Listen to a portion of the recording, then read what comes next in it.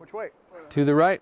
It is hard to argue with Park Manager Kirk Barham's decree that he has the best office in the world. It's called Sitka Sedge State Natural Area, and it is Oregon's newest state park. Prized for its lack of development, Sitka Sedge is just south of Sand Lake in Tillamook County.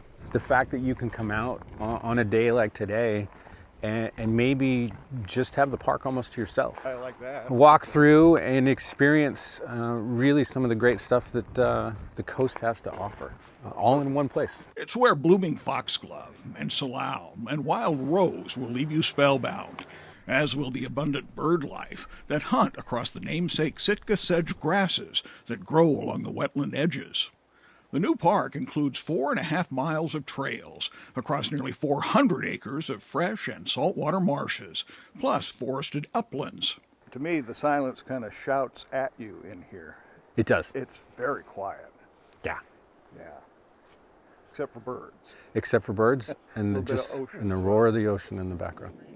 And then there is this, a magnificent ocean front that will remain undisturbed. So here's your reward for coming up that. Oh man. Oh wow. That's Cape Kiwanda to the south, Cape Lookout up to the north. And in between, the new Sitka Sedge joins another state natural area called Clay Myers at Whalen Island. Here, there are 200 acres of forest, sand, and estuary, and even more hiking trails. Visitors like Mark Hinn say Whalen Island is prized because there are few folks around.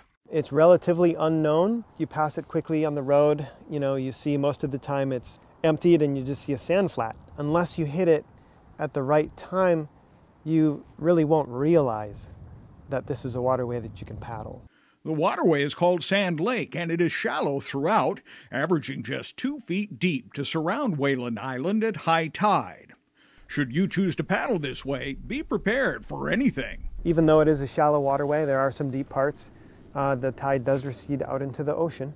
So bring your personal flotation device, bring an extra paddle if you're going to paddle the waterway, bring some basic, you know, first aid stuff, uh, and a communication device so you can communicate with someone if you get in trouble. Meanwhile, back at Sitka Sedge, Barham says no camping will be allowed here. It will always be a low impact park where nature's touch restores the soul.